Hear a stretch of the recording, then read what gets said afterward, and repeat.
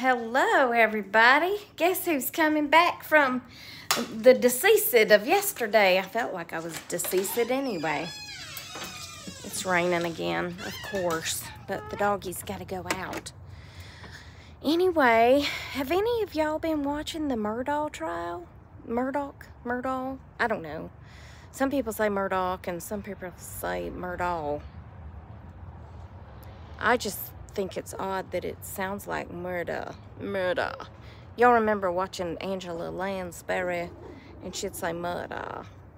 anyway, I just think it's kind of funny that they're that his last name kind of sounds like murder. Anyway, I, have also been watching a lot of La Angela Lansbury the past few days. But yesterday, while I was incapacitated from my headache, I sat and watched. I didn't really watch, I listened to a bunch of YouTube videos and Netflix about the Murdaugh trial and trying to get caught up. I didn't get caught up because apparently you can't get caught up for a, what was it, a three week trial in a day? Anyway, but I did watch a lot of videos and I did learn a lot of things. I did be learning a lot of things. And that family, who was messed up. So, if you haven't seen the Netflix series, I suggest you watch it. If you haven't watched it, go watch it because it's it's interesting in itself. But then I started watching YouTube videos of the different people in the courtroom, like the uh, was she a caregiver for his mom, for Alex, Alex's mom. It's pronounced Alec, but I don't know how to say that plural, plurally. Is that a word? I don't think that's a word. Plurally, without making it sound like Alex's, Alex mom. I guess that would be the way to do it. And he, on the night of the murder, I don't know why I'm saying it like that, but he went over there and was carrying a blue tarp and she remembered what clothes he was wearing, which oddly enough was not the same clothes he had on when the police arrived after he called 911. Even though it was the same night. He was wearing different clothes. Mm. And uh, so that was odd. But I watched a video this morning where these guys were talking about, you know, his body language and what all of that means, which I found very interesting. I mean, because, you know, I'm a people person, a people person. I'm not a people person. I'm a people watcher anyway. So to hear them talking about what all his different body movements and all that meant was very interesting. I mean, I already knew some of it about the eye movements and stuff like that, but when he was sitting in the car, he had his head down, so you couldn't see the way his eyes were moving. Because, you know, you can tell if somebody's lying when their mouth's moving. No, I'm just kidding. You can tell when somebody's lying by the way they move their eyes, right? That it's on Google. You can verify it. Come on, babe. Come on, jump. Come on. I got you. I got you, girl. I ain't gonna let you go. I ain't gonna let you go. So, when you're facing someone, you're looking at their right. But when it's on yourself, it's your left. Okay? So, left, when you look to the left, you're actually remembering. If you look to the right, you're constructing, making up. You know, like I might tell y'all a story that might not be true. So, oh, I just did it the wrong way. So it's my right is I'm constructing a story. But if I'm trying to remember something, I would look to the left. So of course, if you're facing me, you would be, you know, it would be your right. So anyway, if you're facing somebody, right for remember. But if it's you, it's left for remember. Does that make any sense whatsoever? Anyway, it's like when you're looking to the left and up, you're trying to remember uh, something that you saw. If you're looking to the left and straight, you're trying to remember, I think it's a sound. And if you're looking to the left and down, you're trying to remember a feeling. Isn't that interesting? Google it, girls and boys. Google it. It's in there. Ain't that right? This little girl never lies, do you? Mm-mm. She never lies. Anyway, so they were talking about his posturing and how he was, they called it the butterfly pattern, where he was opening his knees up and then closing his knees, and how a man, when he's afraid, will protect himself, protect his genitalia, and that when a woman is afraid, she more protects her stomach, like they were saying her uterus or her, you know, her, her women parts without actually, you know, the Polly Pocket. But anyway, um, I don't know about that as far as me. I, I, don't remember when I've been afraid like that to protect my stomach. But I do know that when I hear bad news, it hurts my heart kind of news, I know I take my hand up and I put it over my heart. And I think that's using that logic, I think that's me like pr protecting my heart kind of thing. Does that make sense? Anyway, but they could tell by his posturing, his body language, his the things he was he were saying mm, that he was saying that he basically he was BSing. And so they asked him, you know, when you first got here, what did you see? And he said, well, I saw my boy. And he talks like, you know, they all talk like Foghorn Leghorn from the cartoons. But anyway, he was like, well, I saw my boy. And they said, what did you do? And he said, well, I walked up to, you know, see Paul laying there. And then I was going to go over to Miss Maggie. And Maggie's his wife. And no, I didn't go over there yet because I tried to turn Paul over. And he said, when I tried to turn him over, his cell phone fell out of his pocket. Paul's did, not Alex. So he said, I reached for it to check, or he said something along those lines. And then he said, no. And, and so I just left it. And then I went over to check on my wife. What I believe he was checking for is to see if his son had a video because they were at the kennels and where they kept their hunting dogs. And one of the dogs had a problem with its tail. So he had called this guy, and I'm not sure who this guy is as far as if he takes care. I think he takes care of the dogs. And his son had called this guy, and he said, well, I'm to hang up and I'm to call you back on FaceTime so I can show you the dog's tail. And if that don't work, then I'll send you a video of the dog's tail, right? So they asked the guy when you were on the phone with Paul, did you hear anyone else? And he said, yes. And they said, who did you hear? And he said, I heard Mr. Murdaugh. And they said, did you hear anyone else? And he said, I heard Miss Maggie. So I think he talked to him and then he tried to FaceTime him and he said it was glitching. So I think he may have sent him the video and they heard on the video that Paul was out there, even though he had lied, not Paul. I mean, Paul was out there, but that Alec was out there and they heard him on that video. And I think that's why he was reaching for Paul's cell phone but then realized he was telling on himself and he stopped. That's just my opinion. They said, Did you touch the bodies? And he said, Well, I tried to use caution, but I did check for a pulse. Now, not to be gruesome, but from what I understand, there wasn't much to check for a pulse own, right? But anyway, maybe that's just a reactionary thing. I don't know.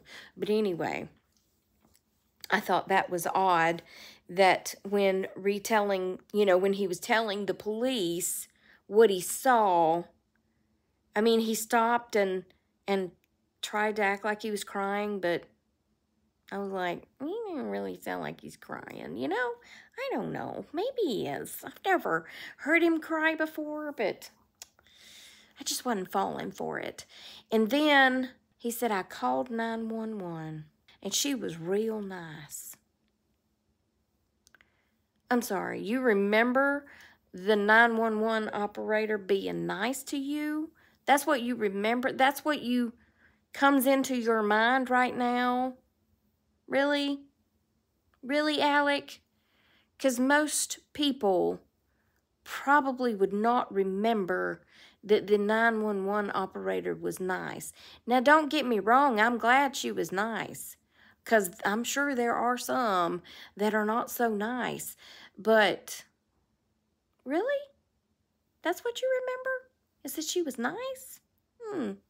Anyway, um, but they it was it was very interesting. It was a very interesting video when they talked about uh the things that he said and how he how his body reacted to what he was saying and then he started talking about something and they said you could tell he was excited because his legs started bouncing up and down. What was he talking about then? Was he talking about the dogs or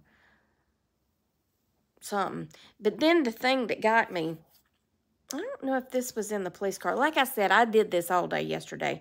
So I may get some of my stories mixed up with where I got the information from. But they asked him about his guns.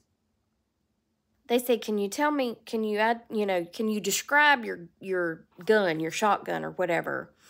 And he said, well, it's camouflage and it's either, uh, I'm making up gun names. These are not the names they said. They start with a B, like a Bertinelli, Bertinelli, I don't know, Valerie Bertinelli, I don't know. They said like a, a, was it a, he said, let me see, was it a Glock or a Ruger? I mean, that wasn't them, but that's what he said. I said, now come on, a man who hunts will be able to tell you exactly what kind of gun, guns plural, he has. He don't have to think what kind of guns he has, what kind of shotgun this is. No. I mean, come on now. I may not be able to tell you about uh, all my dad's guns, but my dad can tell you all about his guns. I can tell you what kind I have. Are you jumping down? Okay. Alrighty. Um, let's see. There was the, on the Netflix series, there was the thing about his son being on the boat with all the, all of his friends. And one of the girls on the boat, I guess she fell off the boat and she drowned. They couldn't find her. But the father, Mr. Alec, showed up and they were ready to pin it on a friend of his who was in the boat, Mallory's boyfriend. And that was one thing that, you know, he lied about and tried to cover up. And then Paul, the one he killed, because he has been found guilty, in case y'all don't know that. But I don't know if I've already said that. But anyway, uh, I believe it was Paul was in a romantic relationship with I think his name was Jimmy. Anyway, another man. And I don't think Daddy liked that too much. So Jimmy got killed because he was in the road. He was, uh, I can't remember if his car broke down or something. Anyway, it was a hit and run. There was just death and destruction all around this man. His housekeeper fell down the steps the dogs jumped on her and she fell backwards. And so this nutcase, Alec, told the family of the housekeeper, well, I'll just file a lawsuit against myself. And, you know, y'all can get the, um, the earnings off that lawsuit because you know my it's my dogs are responsible for the death of your mother cuz she didn't die right then but she never could really talk. She didn't make any sense when she talked I don't know if she had had a stroke but they said she was just mumbling and I think there was a lot of uh questions about it because I don't think all of her injuries quite lined up with what they said happened. But anyway, he filed a lawsuit against himself and he won the lawsuit, but then he never gave her family the money. I mean, these people are nuts so. But he's going to be sentenced at 9.30 in the morning. Yeah. But it reminds me of a court case we had in Cobb County back in the 90s. His name was Fred Tokars. And Fred was a prominent attorney in Atlanta. And instead of killing his wife himself, he hired someone to kill her. And that guy killed her in the front seat of the vehicle she was driving. It was like out in a field, and their two sons were in the back seat and saw what happened and saw the back of her head blown off. Yeah, what a stand up guy he was. The shooter and uh, Mr. Tokars. Mr. Tokars died in prison uh, with I think pancreatic cancer, but anyway, that was that was a terrible case. He was in jail. I want to say he was probably in our jail for three years, three to five years, I think. But see, he was waiting. He was waiting to go to court to be sentenced because a jail is a pretrial facility meaning you stay there until you go to trial. Now, sometimes people are sentenced and they stay in the jail to serve their time if it's like, you know, less than a year. If they get 12 months, they can stay in the jail and not go to prison. But if they get a year, they have to go to prison. Yeah, 12 months and a year is the same thing, except in sentencing. And 12 months, you can serve time in jail, but a year, you have to serve time in a prison. Yeah. Even if you get 24 months, you can serve time in a jail. But if you get two years, you got to go to prison. It's just how it's written on the court papers. Yeah. You learn something new every day, don't you? Mm-hmm. But anyway, he I, I want to say he was there three to five years waiting on his court date. Court dates. He had multiple court dates. And uh, he had, he was in one of the segregation rooms where he had his little cell and then you come out and there was like a it was almost like a, a foyer where he had a little table and all his books because he was you know he didn't really defend himself per, per se but he he did his work to try to get out of it but he didn't get out of it. So those poor children. But they went to live with her mom in Florida and they did a TV show on them.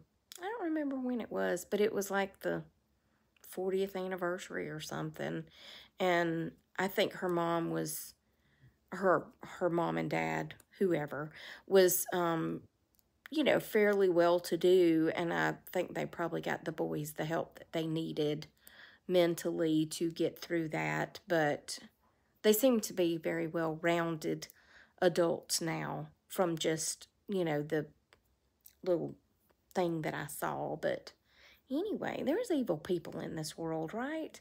But I'm telling you, that whole Carolyn described it to me as classic Southern Gothic horror tale. I'm pretty sure are the words that she used. And I'd be daggum if that is not a great description of this case. I mean, and and the all the attorneys sounded just like foghorn leghorn. They were so southern, just sweet tea, just dripping off their lips. If for nothing else, you should watch it just to hear the southern accents because they are rich, I tell you. They are just rich with this southernness. yeah, anyway. Hmm. But it was interesting. It was way more interesting than than I ever thought it would be. You know, I mean, it's a murder trial. Okay, well, but no, there's a lot of layers to this family and a lot of layers to this murder trial. So anyway, I enjoyed all of that. I enjoyed um, seeing all that about, you know, his body posturing. And I mean, don't get me wrong. I hate that it happened, of course. And one son is still alive. Now, I don't know if the son that's still alive is the one that had the alter ego of Timmy, who turns evil when he drinks, or if that's the one that was unalived. If anybody knows that, you can tell me. But I would love to hear what you think in the comments. I would love for y'all to tell me if you watched it, if you agree with the uh, sent uh, not sentence, with the um, the guilty verdict. I would love to know if you agree with the guilty verdict or if you believe he's innocent.